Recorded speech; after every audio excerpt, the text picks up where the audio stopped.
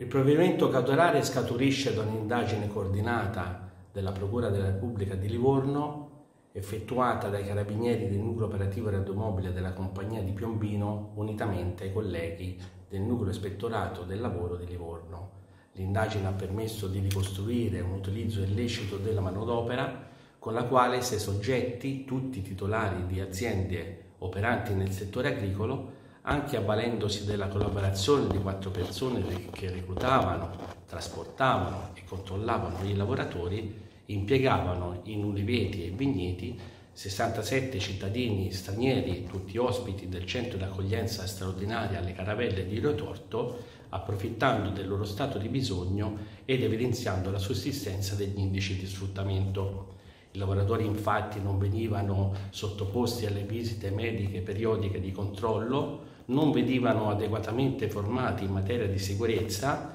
venivano chiamati a prestare orari di lavoro ben oltre quelle previste dalle normative di settore, raggiungendo anche le 10 ore continuative senza nessuna interruzione, ma soprattutto evidenziavano una sistematica retribuzione inferiore rispetto a quanto previsto dai contratti nazionali di lavoro. In una circostanza il lavoratore è stato pagato 0,97 euro per ogni ora di lavoro prestata. A conclusione è stato eseguito un decreto di sequestro preventivo ai fini della confisca di 45.000 euro su conti correnti bancari riconducibili ai sei soggetti titolari di ditte al fine di recuperare per conto dell'Inps i contributi previdenziali e assistenziali non pagati dal datore di lavoro nei riguardi del lavoratore.